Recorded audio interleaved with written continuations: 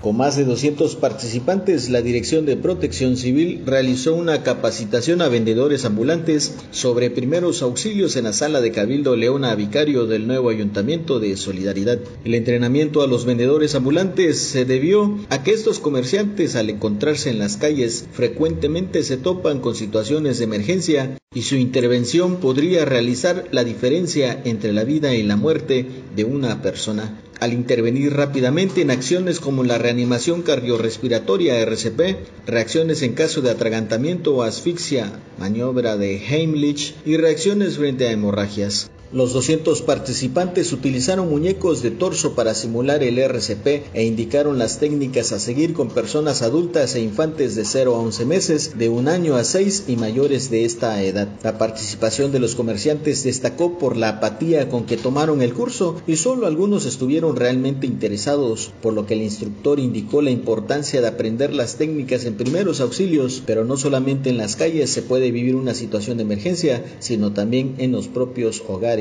En todo momento se mencionó la importancia de realizar el reporte a los números de emergencia 911 para dejar a los profesionales en primeros auxilios la integridad de las personas que puedan pasar por una situación de emergencia. Sin embargo, el apoyo de los comerciantes con las técnicas aprendidas pueden ayudar a mantener viva a una persona hasta la llegada de los cuerpos de primeros auxilios. Con imágenes de Edgar Olivares para Notivisión, Joel Zap.